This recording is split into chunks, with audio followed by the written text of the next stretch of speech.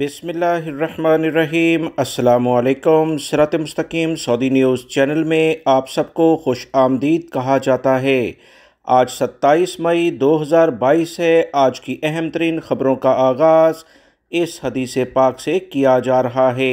हजूर अकरम वसल्लम ने इरशाद फरमाया, जब कोई झूठ बोलता है तो झूठ की बदबू की वजह से रहमत का फरिश्ता एक मील दूर चला जाता है।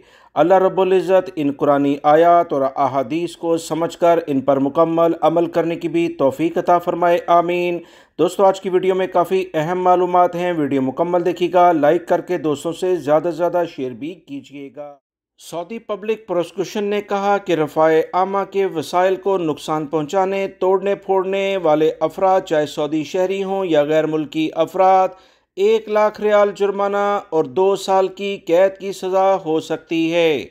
सऊदी पब्लिक प्रोसिक्यूशन ने ट्विटर अकाउंट पर एक अहम बयान जारी करते हुए कहा कि रफ़ाए आमा यानी पब्लिक के लिए जो सहूलियात सऊदी हुकूमत जारी करती है, मुख्तलिफ़ जगहों पर मुख्तफ सहूलियात लगी होती हैं, इन्हें नुकसान पहुँचाने वाले तोड़ फोड़ करने वाले जानबूझकर, इन्हें नुकसान पहुँचाने वाले या इन्हें मुअत्तल करने की कोशिश करना, ऐसा करने वाले अफराद काबिल सज़ा, सऊदी कवानीन के मुताबिक समझे जाएँगे। सऊदी पब्लिक प्रोसिक्यूशन ने मजीद बताया, जो शख्स भी अवामी सहूलत से ताल्लुक़ रखने वाले इदारे को किसी भी तरह का कोई नुकसान पहुंचाएगा या नुकसान पहुँचाने वाले का साथ देगा या इसमें तोड़ फोड़ करेगा या इन्हें गैर मौसर बनाने की कोशिश करेगा तो ऐसा करने पर इसे दो साल कैद और एक लाख रियाल जुर्माना या दोनों सज़ाएँ एक साथ हो सकती हैं।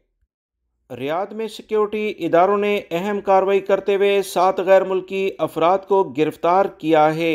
ये गैर मुल्की अफराद सिक्योरिटी इदारों से मुतल जो गाड़ियाँ हैं, इनकी नकल बनाकर वीडियो सोशल मीडिया पर वायरल करते थे। रियाद सिक्योरिटी फोर्सेस की जानब से मजीद कहा गया कि सात गैर मुल्की अफराद को जो गिरफ़्तार किया गया है, इनमें पाँच का ताल्लुक उर्दन से, जबकि दो का शाम से है। इन सातों अफराद ने अवाम की आँखों में धूल झोंकने के मुताबिक इन धोखादही के लिए सिक्योरिटी इदारों की गाड़ियों का रूप धारा था और ऐसे आलात नस्ब किए थे जिससे ये ज़ाहिर हो कि ये सिक्योरिटी अहलकार हैं, जबकि ये गैर मुल्की अफराद थे। पुलिस ने बताया कि वीडियो क्लिप की मदद से गैरकानूनी सरगर्मियों में मुलविस सातों अफराद को गिरफ़्तार किया गया और इनके कब्जे से वो गाड़ियाँ भी बरामद कर ली गई हैं, जिस पर वो सिक्योरिटी फोर्सेस के आलात इस्तेमाल करते थे। पुलिस ने बताया कि गैर मुल्कियों को कवानीन के खिलाफ वर्जी करने पर सऊदी पब्लिक प्रोसिक्यूशन के हवाले किया गया है। याद रखें, पिछले दिनों भी कुछ ऐसे वाक़ात हुए थे कि जाली सिक्योरिटी एहलकार ज़ाहिर करके मुख्तफ गैर मुल्की अफराद से रकम छीनने और इन्हें तंग करने के कुछ वाक़ात हुए थे, जिस पर सऊदी अरब के सिक्योरिटी इदारों ने बर वक्त कार्रवाई करते हुए इन अफराद को पकड़ लिया था। सऊदी अरब में रहने वाले गैर मुल्की अफराद जब सिक्योरिटी एहलकारों को देखते हैं तो यकीनी तौर पर उनका एहतराम भी करते हैं और जो उनकी डिमांड होती है, उसे पूरा करते हैं। मगर इस तरह के जाली अफराद ना सिर्फ़ गैर मुल्की अफराद को पिछले दिनों तंग करते देखे गए, बल्कि इन अफराद ने कीमती अशिया भी गैर मुल्की अफराद से छीनी। सिक्योरिटी इदारे ऐसा कभी भी कोई काम नहीं करते, सिर्फ़ आपका चलान करेंगे, जो भी जुर्माना है उसे अदा करने के लिए कहेंगे। लिहाजा इस पर सऊदी अरब के सिक्योरिटी इदारों ने गैर मुल्की अफराद की शिकायत पर कार्रवाई की और इन तमाम अफराद को पिछले दिनों भी गिरफ़्तार किया गया है। और इस खबर में भी जो सात अफराद की गिरफ्तारी अमल में आई है, वो कुछ इसी तरह का वाक़ है। सऊदी हुकूमत की जानब से कहा गया है कि वजारत ख़ारजा को नेशनल यूनिफाइड वीज़ा प्लेटफॉर्म के तौर पर जो अहम सहूलत फ्राहम कर दी गई है, जिससे रिक्रूटिंग निज़ाम और गैर मुल्कियों के साथ जो मामला हैं, उसमें अहम तब्दीलियाँ कर दी गई हैं। सऊदी वजारत ख़ारजा से बहुत सारे लोगों ने सवाल पूछे कि क्या रिक्रूटिंग के निज़ाम और गैर मुल्कियों के साथ मामला में कोई तब्दीली होगी या पुराने निज़ाम के मुताबिक ही कार्रवाई नेशनल यूनिफाइड वीज़ा प्लेटफॉर्म से की जाएगी। इस बारे में सऊदी काबीना ने हाल ही में एक फ़ैसला जारी किया है कि वजारत ख़ारजा को नेशनल यूनिफाइड वीज़ा प्लेटफॉर्म के तौर पर मुकर किए जाने के बाद गैर मुल्कियों के साथ जितने भी मामला होंगे वो और रिक्रूटिंग कवानीन से ताल्लुक़ रखने वाले कार्रवाई में कोई तब्दीली नहीं की जाएगी। जिस तरह पहले से रिक्रूटिंग की कार्रवाई होती थी, वैसे ही वजारत ख़ारजा के प्लेटफॉर्म से की जाएगी।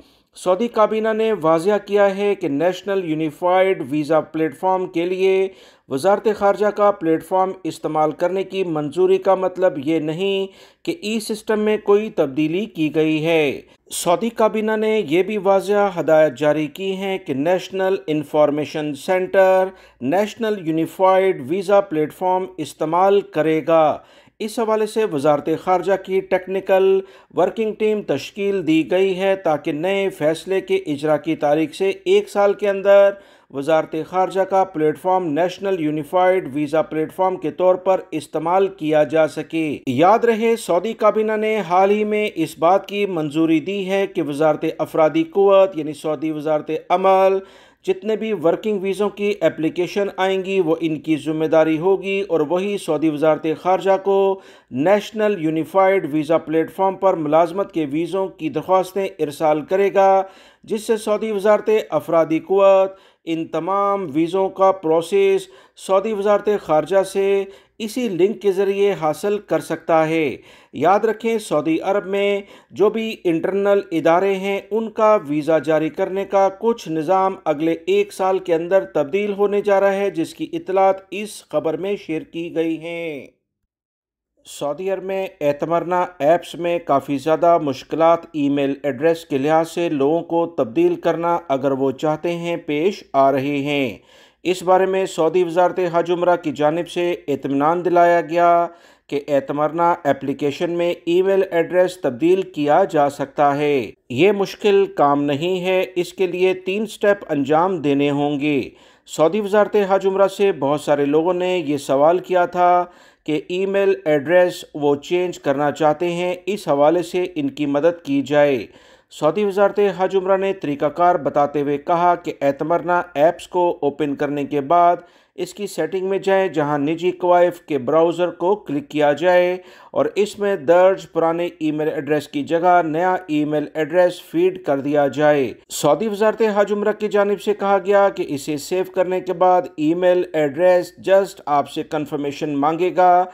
ईमेल एड्रेस इससे चेंज हो जाएगा। वाज रहे, सऊदी अरब में रहने वाले तमाम गैर मुल्की और सऊदी शहरीों के लिए ये शर्त है कि अगर उन्होंने उम्र करना है तो उनके पास बाकायदा इसका इजाज़तनामा यानी परमिट होना चाहिए।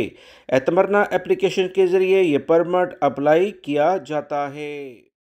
जद्दा बल्दिया की जानब से इतलात शेयर की गई कि अल मलेशिया के इलाके में गैर कानूनी तरीके से मुर्गी खाने चलाने वाले और मुर्गियाँ ज़िबा करने वाले गैर मुल्की अफराद को गिरफ़्तार किया गया है।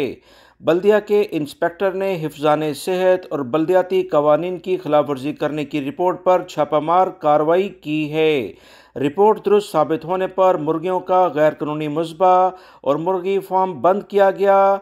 चेयरमैन बल्दिया की जानब से कहा गया कि हमारे इंस्पेक्टर ममनुआ तजारती सरगर्मियों में मुलविस अफराद के खिलाफ तफ्तीशी मुहिम जारी किए हुए हैं। बल्दिया के इदारे की जानब से कहा गया कि ऐसे अफराद जो बल्दिया कवानीन की खिलाफ वर्जी करते हैं, इनके बारे में किसी भी शख्स को कोई इतलात हो तो हमारी हेल्पिंग लाइन नंबर पर हमें फ़ौर इतला दी जाए।